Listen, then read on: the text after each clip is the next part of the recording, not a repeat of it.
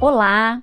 Gostaríamos de convidar a todos e a todas pesquisadores da região Sudeste para participar da 14ª reunião da Amped Sudeste, que tem por tema principal Direito à Vida, Direito à Educação em tempos de pandemia.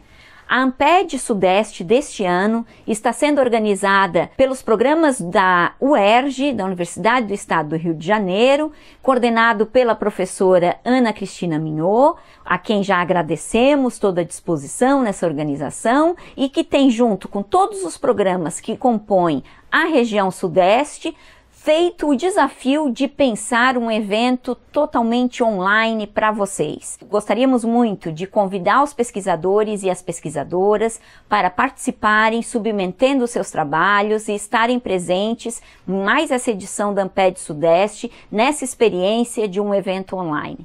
Venham!